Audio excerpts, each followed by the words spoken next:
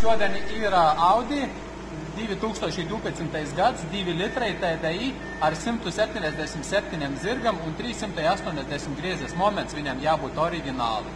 Visa ekoloģija ir uz vietas, cilvēks atbrauca uz jaudas celšanu un viņam izmērījām jauda. Viņam ir oriģināla jauda 182 zirgi un 408 griezes moments. Tagad mēs uzliekam čipu un kā atkārtot visu ekoloģiju ir uz vietas un izmērīsim tagad jaudu, kāda ir jauda viņam ar pilnu visu ekoloģiju, ar visu, kā var iespējams viņu uzčipot un kādi rezultāti būs tūlīt redzēsim.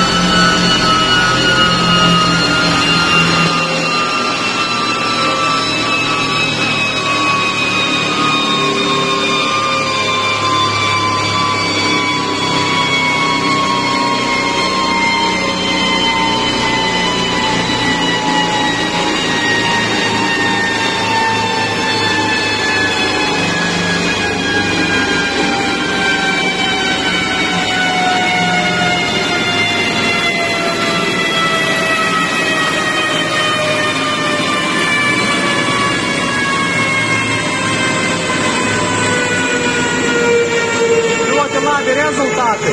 Manuāla ātruma darba mērījām uz 4 ātrumu. Mašīna ieskries kaut kādi 220, 220 km/h. Vajadzēs paskatīties video, cik ieskrējums. Un tagad rezultāti pēc čipošanas. 235, gandrīz 236 zirgi, 486 grieze. Perfekts rezultāts. Tā kā droši varat pieteikties vai pie mums, vai pie mūsu sadarbības partneriem pa visu Latviju. Un mēs izgatavosim jums tāpat tādu pašu failu. Paldies! Vislabāk!